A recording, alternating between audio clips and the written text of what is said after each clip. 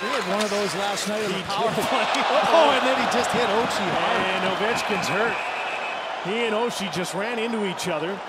Coming up, Oshie's turning the other way. Let's watch his face. Oh, Oh, wow, is that a hard collision?